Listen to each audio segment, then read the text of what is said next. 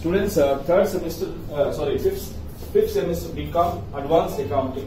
ಓಕೆನಾ accounting for banking companies ಅಲ್ಲಿ two thousand twenty two question paper ಅಲ್ಲಿ ಒಂದು ಫಿಫ್ಟೀನ್ ಮಾರ್ಕ್ಸ್ ಕ್ವಶನ್ ಇದೆ.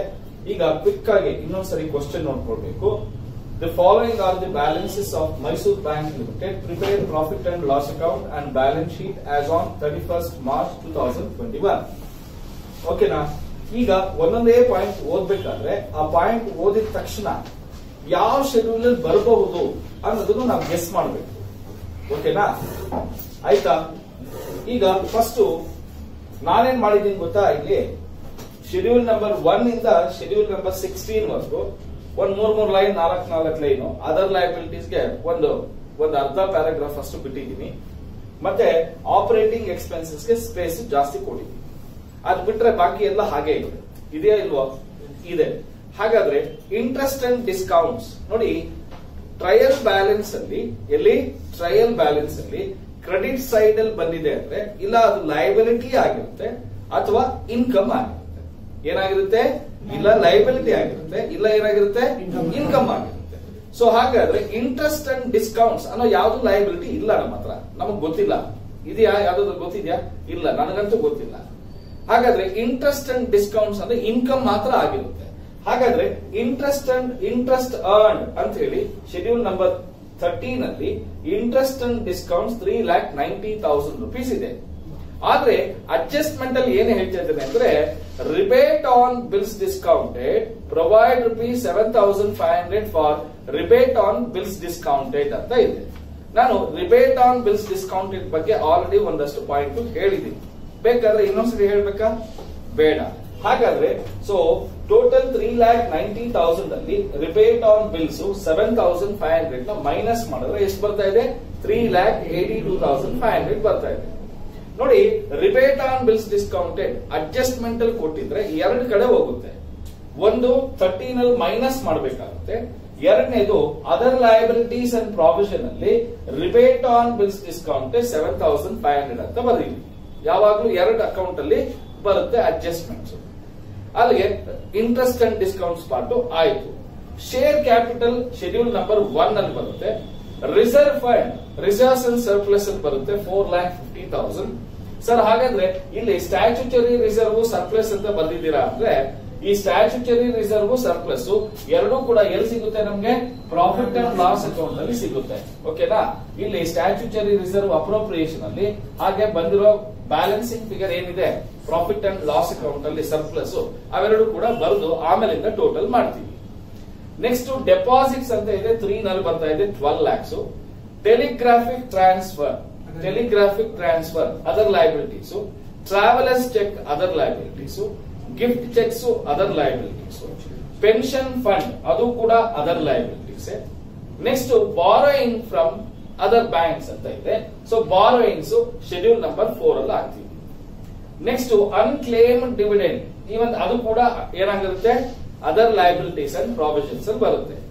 ರೆಂಟ್ ಅಂತ ಇದೆ ನೋಡಿ, ಈ ರೆಂಟ್ ಅನ್ನೋದಿದೆ ಅಲ್ವಾ? Debit side trial balance debit side ಅಲ್ಲಿ ಇದ್ರೆ ರೆಂಟ್ ಪೇಡ್ ಅಂತ ಆಪರೇಟಿಂಗ್ ಎಕ್ಸ್ಪೆನ್ಸಸ್ ತಗೋತೀವಿ. ಅದೇ ರೆಂಟ್ ಅಂತ ಕ್ರೆಡಿಟ್ ಸೈಡ್ ಅಲ್ಲಿ ಏನ್ ಮಾಡ್ತೀವಿ? ಅದರ್ ಇನ್ಕಮ್ ಅಲ್ಲಿ ತಗೊಳ್ತೀವಿ. ಎಲ್ಲಿ ಬರುತ್ತೆ other income schedule number fourteen ಅಲ್ಲಿ. Other income rent thirty thousand commission ಇದು ಕೂಡ ಅಷ್ಟೇ. ಯೂಶುವಲ್ ಆಗಿ ಕಮಿಷನ್ ಎಕ್ಸ್ಚೇಂಜ್ ಬ್ರೋಕರೇಜ್ ಅಂತ ಕೊಡ್ತಾರೆ. ಆದ್ರೆ ಈ ಪ್ರಾಬ್ಲಮ್ ಅಲ್ಲಿ ಏನ್ ಹೇಳಿದ್ದಾನೆ? ಬರೀ ಕಮಿಷನ್ ಅಂತ ಹೇಳಿದ್ದಾರೆ ಹೇಳಿ ಡೆಬಿಟ್ ಸೈಡ್ ಅಲ್ಲಿ ಕೊಟ್ಟಿದ್ದಾರೆ. ಎಲ್ಲಿ ಕೊಟ್ಟಿದ್ದಾನೆ? ಕ್ರೆಡಿಟ್ ಸೈಡ್ ಅಲ್ಲಿ ಕೊಟ್ಟಿದ್ದಾನೆ.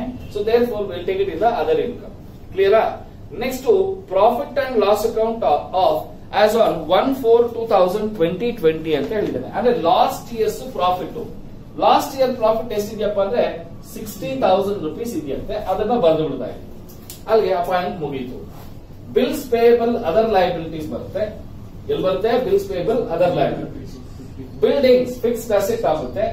ಮತ್ತೆ money at call and short notice ಅದನ್ನ ಶೆಡ್ಯೂಲ್ ನಂಬರ್ ಸೆವೆನ್ ಅಲ್ಲಿ balance with other banks and money at call and short notice next furniture is a fixed asset cash in hand is cash in hand and with R B I six ಅಲ್ಲಿ ಬರುತ್ತೆ cash at bank balances with other bank ಅಲ್ಲಿ ಬರುತ್ತೆ investment schedule number eight loans cash credits overdraft comes under the schedule number nine interest on deposits fifteen ಅಲ್ಲಿ ಬರುತ್ತೆ. ಓಕೆನಾ interest on deposits always fifteen ಅದ್ ಬಿಟ್ಟು next point ಏನಿದೆಯಪ್ಪ ಅಂದ್ರೆ audit fees salaries directors fees printing depreciation ಹೌದಾ? And other expenditure ಇಷ್ಟು ಕೂಡ ಆಪರೇಟಿಂಗ್ ಅಲ್ಲಿ ಬರುತ್ತೆ.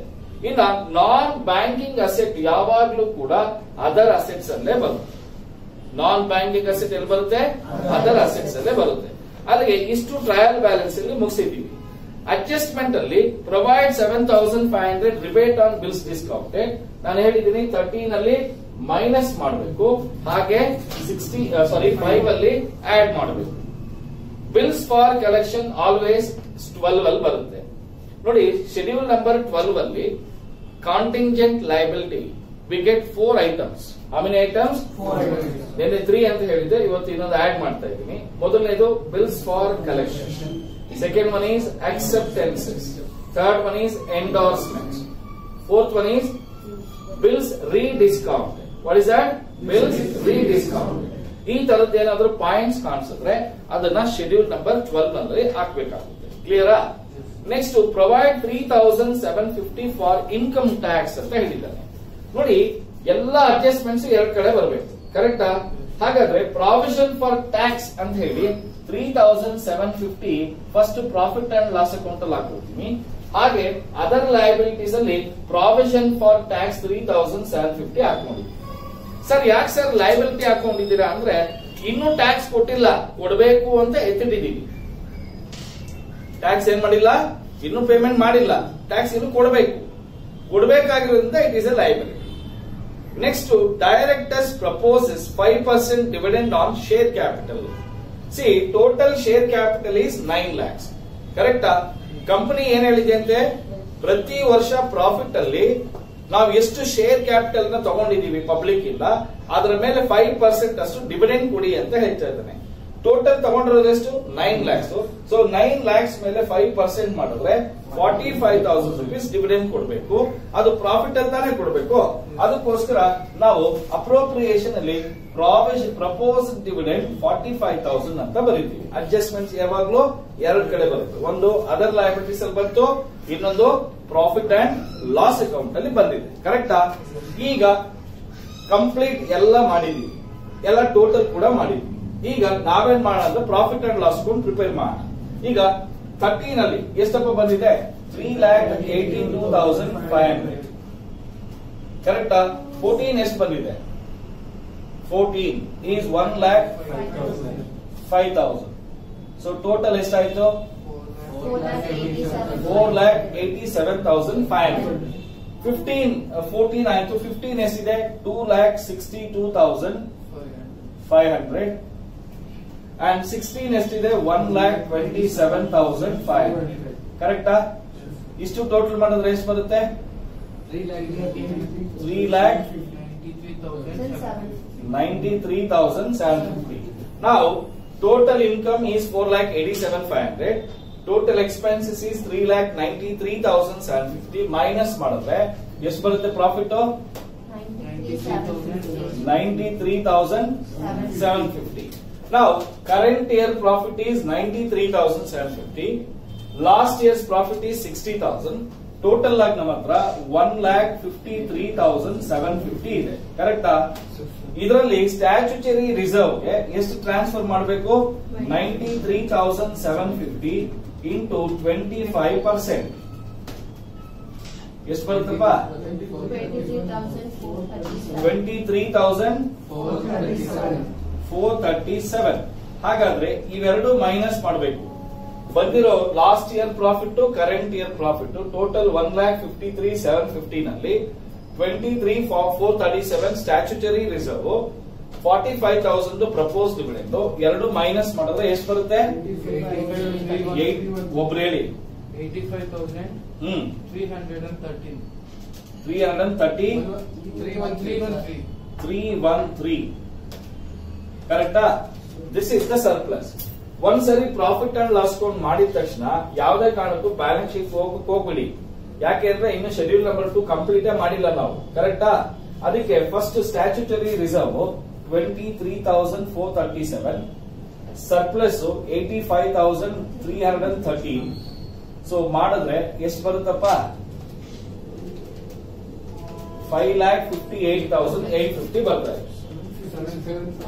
ಸೆವೆನ್ ಫಿಫ್ಟಿ ಸೆವೆನ್ ಫಿಫ್ಟಿನಾ ಹಾ ಸೆವೆನ್ ಫಿಫ್ಟಿ ಕರೆಕ್ಟಾ ಅಲ್ಲಿಗೆ ಒನ್ ಟು ಟ್ವೆಲ್ವ್ ಮುಗಿಸಿದ್ವಿ. ಈಗ ಬ್ಯಾಲೆನ್ಸ್ ಶೀಟ್ ಮಾಡಬಹುದು share capital ಎಷ್ಟಿದೆಪ್ಪ nine lakhs schedule number two ಎಷ್ಟಿದೆ five lakh fifty eight thousand seven fifty three one lakh sorry twelve lakhs four ಎಷ್ಟಿದೆ one lakh twelve thousand one lakh twelve thousand five hundred full ಹೇಳಬೇಕು. Five S ಇದೆ. Ten lakh ninety eight thousand seven fifty total ಮಾಡಿದ್ರೆ ಎಷ್ಟು ಬರುತ್ತೆ? Thirty eight lakh seven seven zero thousand thirty eight lakh seventy thousand ಈಗ ಹಾಗೆ asset side ಮಾಡೋಣ. Six ಎಷ್ಟಪ್ಪ ಇದೆ four lakh one thousand five hundred next is nine lakh seven eight ಎಷ್ಟಿದೆಯಪ್ಪ nine ಎಷ್ಟಿದೆ seventeen lakh seventeen lakhs ten thousand ten ಎಷ್ಟಿದೆ four lakh thirty five thousand eleven ಎಷ್ಟಿದೆ total ಮಾಡಿದ್ರೆ ಎಷ್ಟು ಬರುತ್ತೆ? Thirty eight lakh seventy thousand balance sheet tally ಆಗ್ತದೆ ಕರೆಕ್ಟಾ ಆದ್ರೆ twelve ಅಂತ ಹೇಳಿ ಏನೋ ಕಾಂಟಿಂಜೆಂಟ್ ಲಯಬಿಲಿಟಿ ಲಾಸ್ಟ್ ಅಲ್ಲಿ ಫಿಫ್ಟೀನ್ ತೌಸಂಡ್ ಸೆವೆನ್ ಫಿಫ್ಟಿ ಹಾಕ್ಬೇಕು. ಇದು ಯಾವುದೇ ಕಾರಣಕ್ಕೂ ಬ್ಯಾಲೆನ್ಸ್ ಶೀಟ್ ಟೋಟಲ್ ಅಲ್ಲಿ ಮಾಡೋ ಹಾಗಿಲ್ಲ just we have to show it this is the amount as a contingent liability ಅಂತ ಹೇಳಿ. ಇಷ್ಟು ಮಾಡೋದು ಎಷ್ಟು ಮಾರ್ಕ್ಸ್ ಬರುತ್ತೆ? ಫಿಫ್ಟೀನ್ ಮಾರ್ಕ್ಸ್ ಬರುತ್ತೆ. ಕ್ಲಿಯರಾ